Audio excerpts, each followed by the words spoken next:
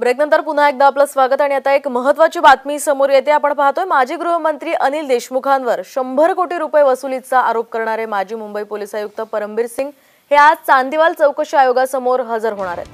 परमबीर यांच्यातर्फे त्यांचे वकील अॅडव्होकेट अनुकूल सेठ यांनी शुक्रवारी न्यायाधीश के यू चांदीवाल यांना याविषयीची माहिती दिली आहे. देशमुख यांनी सहाय्यक पोलीस निरीक्षक सचिन वाझे आणि सहाय्यक पोलीस आयुक्त संजय पाटील अशा कनिष्ठ अधिकाऱ्यांना आपल्या ज्ञानेश्वरी निवासस्थानी बोलवून मुंबईतील बार अँड रेस्टॉरंट्स मालकांकडून तसंच अन्य स्रोतांच्या माध्यमातून वसुली करत दरमहा शंभर कोटी रुपयांची रक्कम गोळा करण्याचं लक्ष दिलं असा गंभीर आरोप परमबीर सिंग यांनी मुख्यमंत्री उद्धव ठाकरे यांना वीस मार्च दोन हजार एकवीस रोजी पत्र पाठवून केला होता.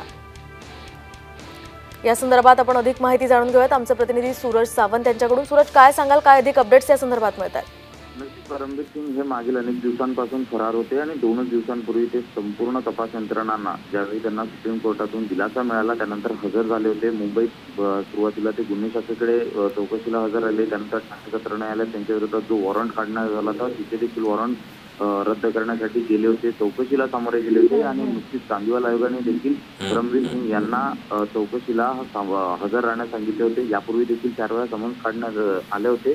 मात्र चारही वेळा बोलवून देखील ते हजर न झाल्यामुळे त्यांच्यावर दंडात्मक कारवाई देखील करण्यात आली होती. मागच्या सुनावणीला ज्यावेळी परमवीर मुंबईत दाखल झाले त्यावेळी चांद- चांदीवाल कमिशनने परमवीर यांच्या वकिलांना विचारण्यात आलं होतं की नेमके परमवीर आहेत कुठे? आणि जर तुम्ही आला नाही तर वॉरंट हे अद्यापही आम्ही तसंच राखीव ठेवलेलं आहे. त्याचा आम्हाला वापर करावा लागेल. त्यानंतर आज परमवीर सिंग हे त्यांच्या विरोधात जे काढण्यात आलेलं वॉरंट आहे ते रद्द करण्यासाठी चांदीवाल कमिशनच्या समोर जाणार आहेत. त्याचबरोबर ते त्यात चौकशीला जे शंभर कोटी वसुलीचे आरोप केलेले आहेत या चौकशीला देखील सामोरे जाणार आहेत. यापूर्वी देखील त्यांनी त्यांच्या वकिलांमार्फत मला कोणाचीही उलट तपासणी करायची नाही आणि माझ्याकडे अधिक कुठलेही पुरावे नसल्याचं यापूर्वी चांदीवाल आयोगासमोर वकिलांमार्फत स्पष्ट केलं होतं. मात्र आता चांदीवाल आयोगांनी अगदी सूरज आता या आयोगाच्या चौकशीनंतर आणि परमबीर सिंह आयोगासमोर काय काय नेमकी माहिती देतात हे बघावं लागणार आहे. तुर्तास धन्यवाद तुम्ही दिलेल्या या संपूर्ण माहितीबद्दल.